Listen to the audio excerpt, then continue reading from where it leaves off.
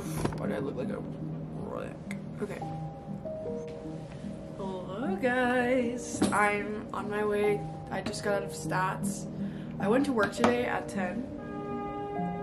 And then I from 10 from 10 to 1 I was at work from 1 to 1 to 2.15 I was at I was it class and then from 2.15 to 3.15 I have an hour actually to get ready and go to EY's office talk to recruiters my name through there network business casual Boop. Boop. I got a 96 on my stats midterm, which is great. I didn't study. I know, horrible of me, right? But I got a 96, so it's fine. I'm happy I was able to retain all that knowledge, perform above average on my midterm with no studying. I just got off a flight. That was the day I just got off, like, I was coming back from spring break, scared out of my mind, but I performed well and I'm really I'm really proud of myself. Let me let me show you guys. This beautiful, look at this beauty. She's perfect, and that's like the only one I got wrong, which is horrible. But whatever, it's fine. What else was I gonna say? Yeah, so I'm I'm really proud of myself for pulling through. Don't know how I did it. Also, the day I found out that I got into Bain, which is great which is really good. Bain has a really low acceptance rate, especially in the New York office, so I was really proud of myself throughout that entire day. It all paid off. That was a really good day for me. That was a really, really good day for me. What else? It's been a good semester. It's flown by. It's my last few weeks of being a freshman. My last few weeks being in this dorm. It's so sad. It's horrible. It's all happened so quickly, and I I've, I've been so thankful for since for every opportunity that's like come my way or that I've I've received. I've worked very very hard this semester. Don't plan on dying dialing it down a bit. I'm I think I'm at a great pace right now. And I feel like sometimes I overexert myself. I like this. I like being so busy that I can't even think. If I'm not, if I have time to think, I feel I feel like I'm wasting my time which is a good and a bad thing, I think. I don't know, this has been five minutes of me just talking. So, I've just been going on a rant. Mm, what else do I have to update you guys on? I think that's it. It's just me, this was just me talking. Me talking out of my ass. Hope you enjoyed that. I have to go to the EY meeting now, so I'm gonna go eat before I go to the I'm gonna walk towards there. Like I can see Hudson Yards from here. So it's not far. It's fine. like, fine. I will see you guys later.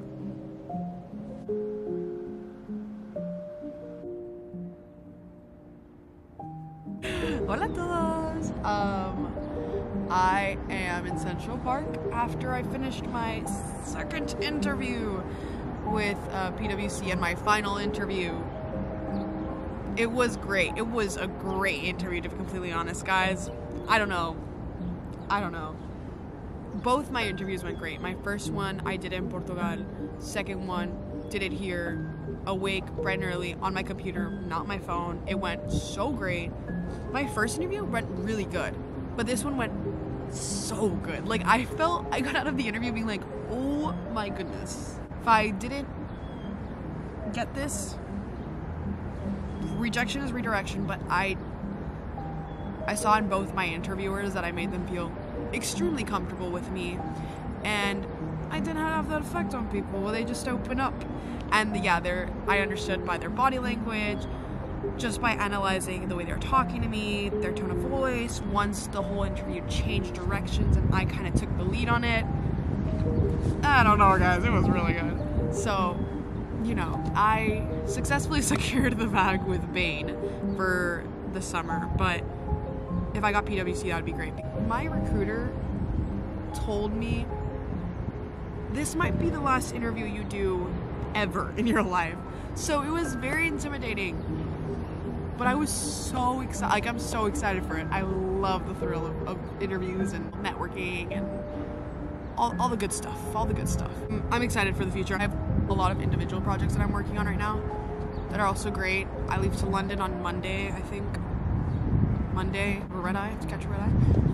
Um, and I'm excited. I, I mean, I'm gonna be doing a lot of work in London. That's the update, but that's why I'm being one with nature right now because I have not been one with nature. I've been on the computer. I need a pee, but we're gonna romanticize Central Park a little bit. So, so join me in the montage of Central Park that I capture. And thank you for listening and sticking around of me talking for five minutes. I appreciate that. And I appreciate you. Okay. Roll the montage.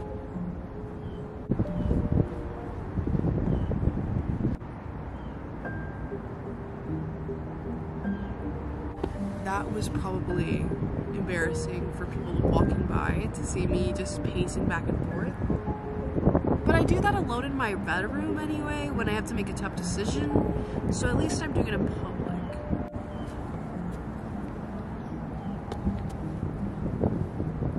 Guys, these shoes have really been through a lot. They've been like all over Europe for like, and they're like two years old. Great condition though.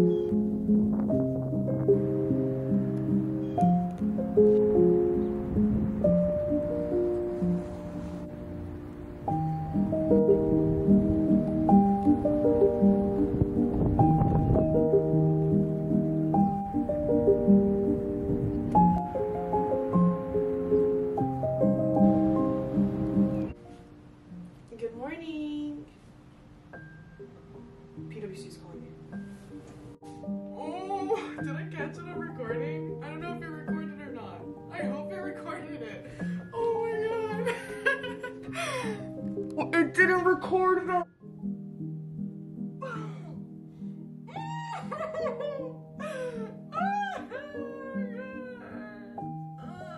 It literally stopped recording my conversation. My mom. I need to call my mom. Oh. what the frig? That, that was a really good conversation. Mama, I got the internship for this year and next year. Yeah. They call me right now and I was I was recording a YouTube video and then they called me and I was like, oh my gosh. What's it called? The guy that interviewed me yesterday, he was the one that called me and I was like, hello. I was like, good morning. And I already have PwC saved on my contacts. So I was like, holy shit. And obviously rejection letters, like I've gotten multiple rejection letters and they usually go through email. So I was like, I don't think they're calling for something bad. Um, yeah, he was like, I just wanted to call to, he waited. Amazing. I know, he was like, I wanted to call to um, congratulate you. You really impressed us and HR. HR was really impressed with all your interviews and, and um, just you as an applicant, so you really stood out. I have a secure job for next year. Wow. Wow. Yeah. ¿Le dijiste a tu papá? Ah, no, pero vas a trabajar like. Yeah, no, I, I haven't told him yet, but I'll, I'll tell him. I'll call him. I should need to call you first. I think he was gonna, he was working. Yeah. Well, good luck. Te amo. I'm so proud of you. And just uh, have a great day today. Thank you, Mama. Te amo. Bye. Bye.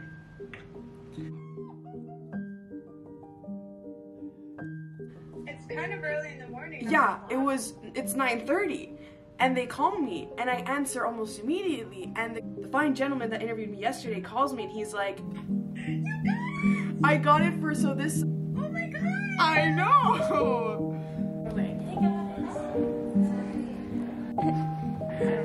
Okay. Okay. There we go. Hey, guys. What's up? Yeah, you have to do like that.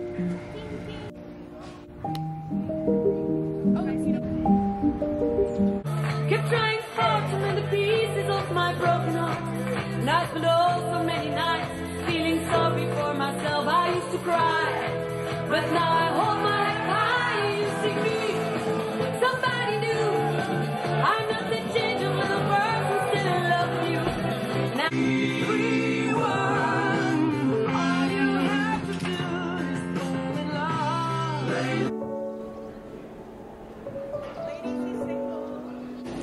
think I'd say like They're weird. somebody's getting mobbed. Yeah. And we'll go and look at We don't have man. I, I would do it. Who is the player on my back? David. Yeah, David. Okay, guys, so Take us we through. are back at the Yankees Stadium. It's my home, actually.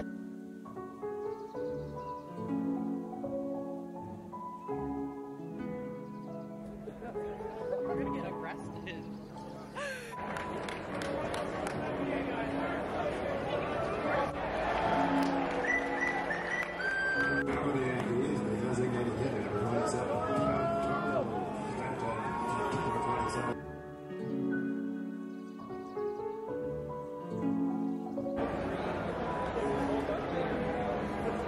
Okay, guys, so we're gonna do a little update.